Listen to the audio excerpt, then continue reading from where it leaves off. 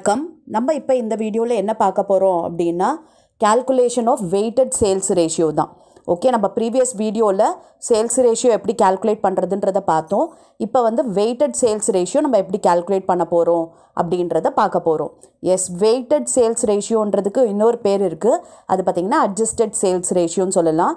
Okay எப்போ வந்து இந்த வெயிட்டட் சேல்ஸ் ரேஷியோ நம்ம கால்குலேட் பண்ணுவோம் அப்படின்னு பார்த்தீங்கன்னா அதாவது சேல்ஸ் வந்து throughout the accounting period வந்து யூனிஃபார்மாக இல்லை.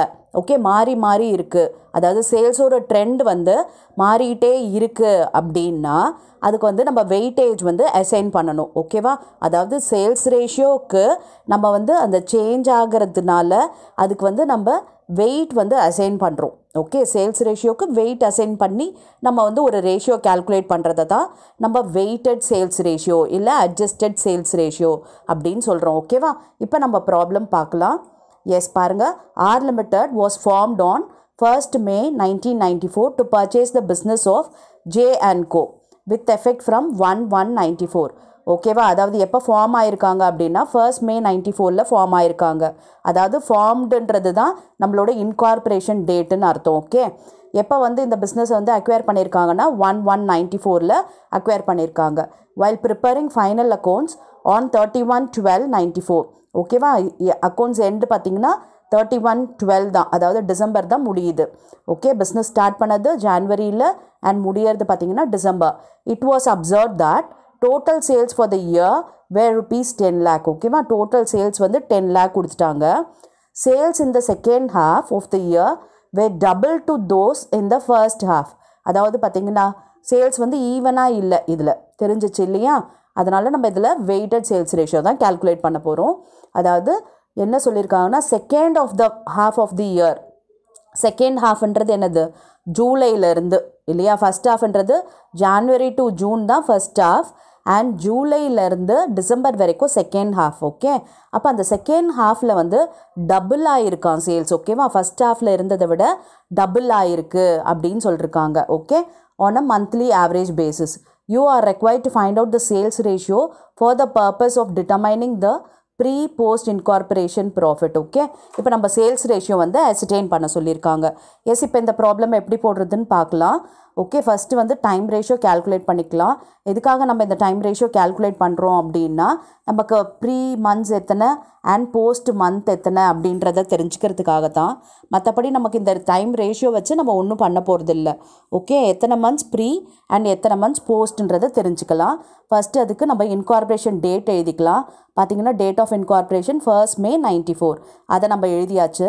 ஓகே இப்போ நம்ம வந்து ஸ்டார்டிங் டேட் அதாவது ஜான்வரியிலேருந்து இந்த ஒன் ஃபைவ் நைன்டி ஃபோர் வரைக்கும் நமக்கு pre incorporation period and post incorporation period பார்த்தீங்கன்னா இந்த ஒன் ஃபைவ் நைன்டி ஃபோர்லேருந்து தேர்ட்டி ஒன் டுவெல் வரைக்கும் ஓகே ஸோ நம்ம அதை எழுதிக்கலாம்.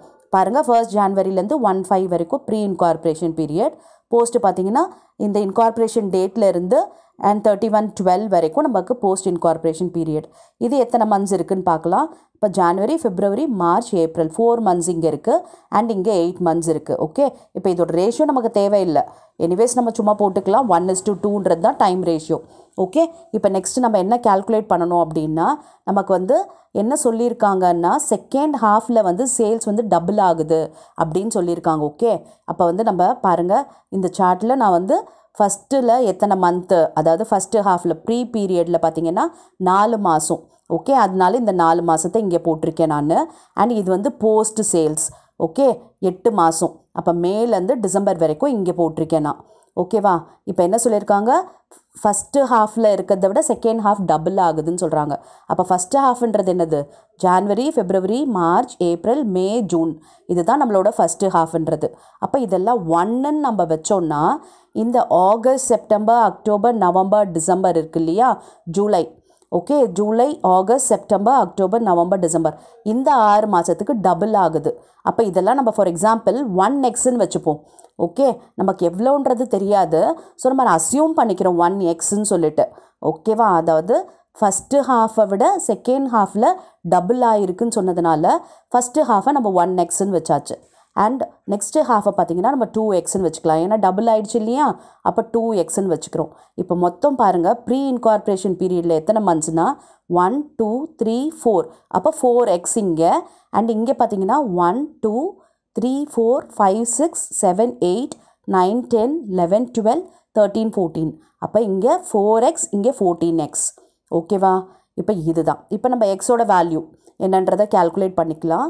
ஓகே? எப்படி கால்குலேட் பண்ணுவோம் அப்படின்னா நம்மளோட டோட்டல் சேல்ஸ் வந்து ten lakh ten lakh divided by இது ஃபோரும் ஃபோர்டீனையும் ஆட் பண்ணோன்னா எயிட்டீன் வருது.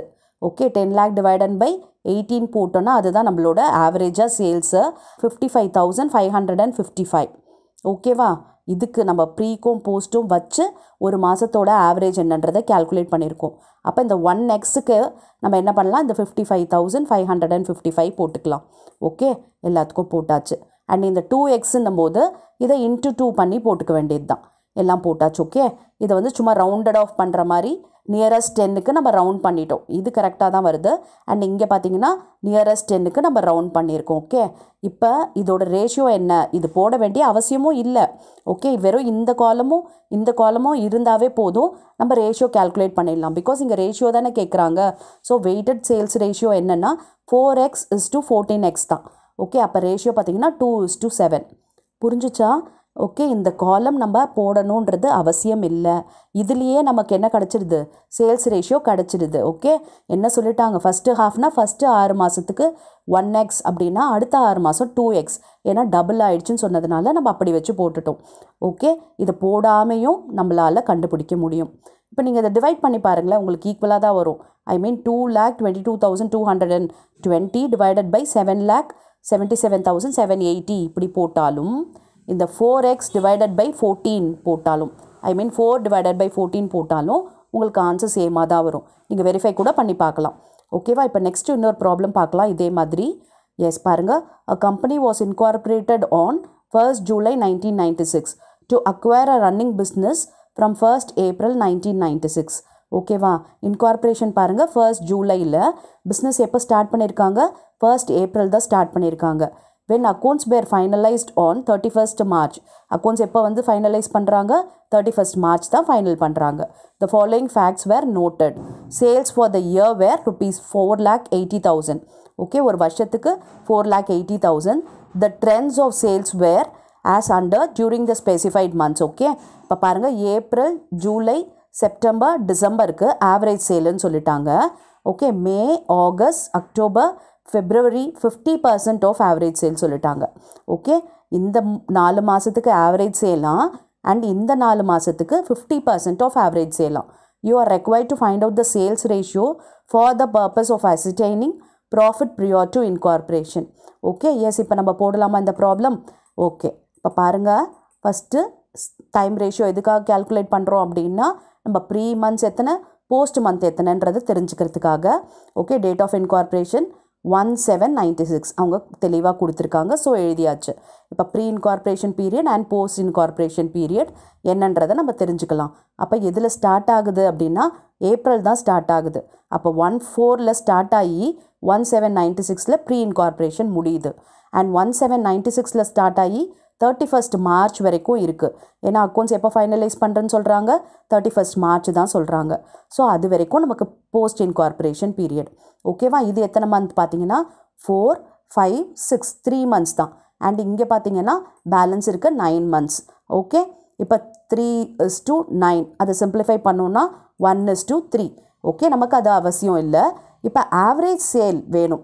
ஏன் அப்படின்னா நம்ம கொடுத்துருக்க ட்ரெண்டே எப்படின்னா ஒரு ஃபோர் மந்த்ஸ்க்கு ஆவரேஜ் சேல் கொடுத்துட்டாங்க.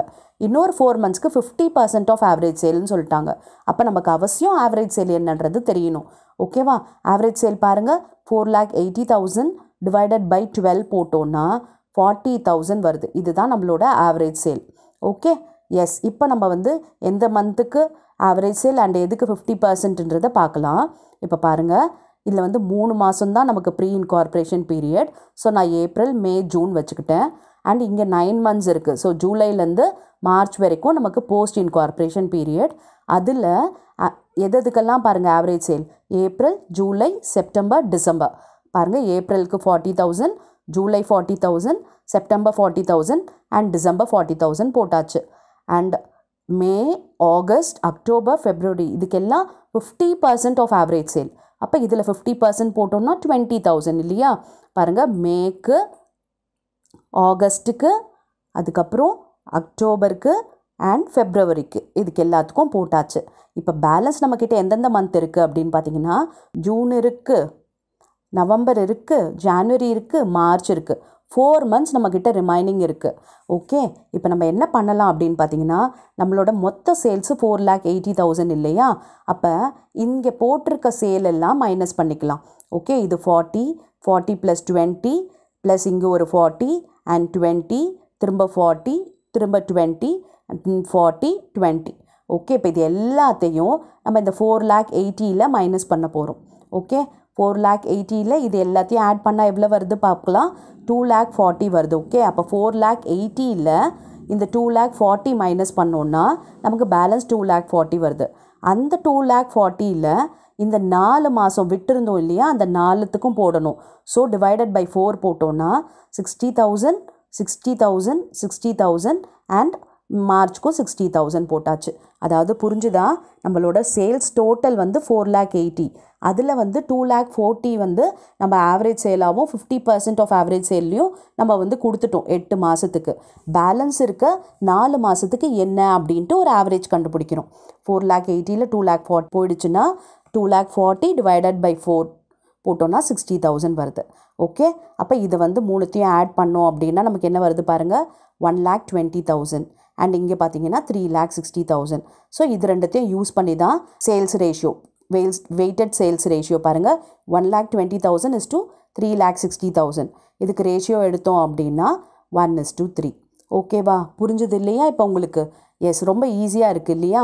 எஸ் ப்ராக்டிஸ்க்காக உங்களுக்கு இதே மாதிரி ஒரு ப்ராப்ளம் தான் கொடுத்துருக்கேன். இந்த ப்ராப்ளமை ஒர்க் அவுட் பண்ணுங்கள் அண்ட் கமெண்ட்டில் ஆன்சர் போடுங்க.